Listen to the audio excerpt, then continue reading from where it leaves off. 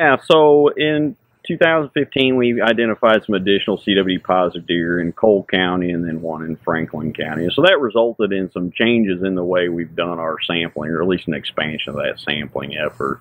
Uh, we did extensive sampling across North Missouri, continued those efforts.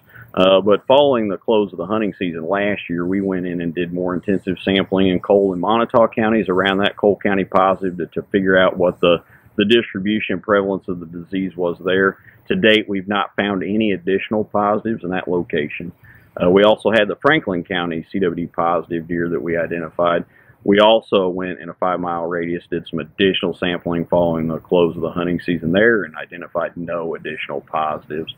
Uh, in total, last year statewide, we tested about 7,600 deer, um, and, and that brought our total to 51,000 since we started, and a total of 27 positives.